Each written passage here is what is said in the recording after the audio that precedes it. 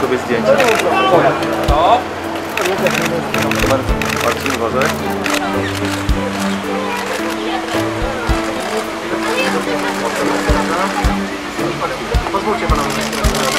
Ja zaraz Dobra, panowie, bo ja bym też chciał przejść, ja rozumiem, że...